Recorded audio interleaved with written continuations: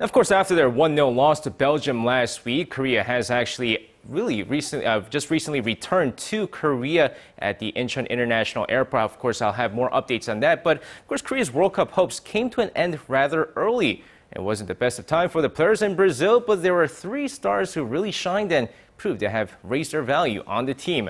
And while many of the players were criticized for their lack of form during the World Cup, three players on the team were praised and were considered the bright stars on the squad. And they were Kim Shin-wook, who proved to be the best striker on the team, and there was Lee Keun-ho, came back to the squad after being left off in 2010 and was probably the best player on the squad despite coming off the bench. And after this World Cup, the future of Korea's goalkeeping was finalized as Kim Seung-kyu proved to be the better and younger goalkeeper ahead of Chung Sung Yong.